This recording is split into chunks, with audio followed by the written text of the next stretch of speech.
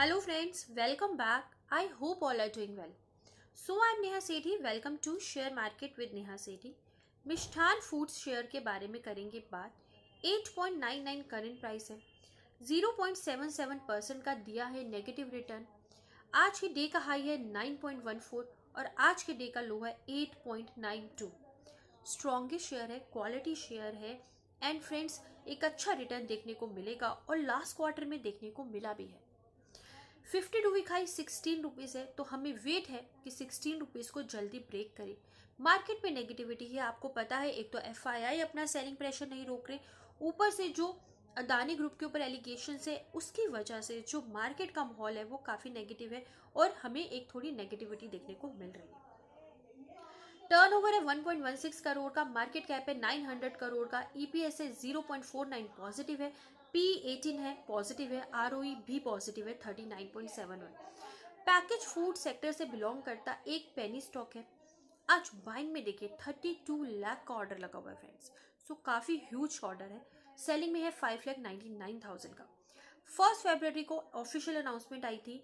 Calendar of events for postal ballot तो इनकी share holder meeting होने वाली है। उन्हीं की प्रॉपर स्केड्यूल्स हैं जो मैं आपको अपनी लास्ट वीडियो में डिस्कस कर चुकी हूँ। दिसंबर क्वार्टर का प्रॉफिट आया है thirteen point seven zero crore का। सितंबर में था eleven point zero six crore का। सो so, सितंबर से दिसंबर में काफ़ी अच्छी जंप है। प्रोमोटर होल्डिंग है फोर्टी नाइन परसेंट और पब्लिक की होल्डिंग है fifty percent seventy two percent delivery आज भी उठाई गई है। तो फ़ूड सेक्टर से बिलोंग करता। अगर आप कोई पेनी स्टॉक देख रहे हैं तो मिष्ठान फ़ूड अच्छा शेयर है। दिसंबर क्वार्टर में भी बहुत अच्छा प्रॉफिट आया है। 11 करोड़ से 13 करोड़ पे आ गया है। प्रॉफिट लगातार बढ़ रहा है। और फ्रेंड्स अभी एक आपको शेयर नौ रुपये के आसपास मिलने वाला है, जिसका तेरह करोड़ का प्रॉफिट है। तो आप यकीन मानिए, ये सिक्सटीन रुपीज़ को क्रॉस ज़रूर करेगा। बस आपको यहाँ पेशेंस रखनी है।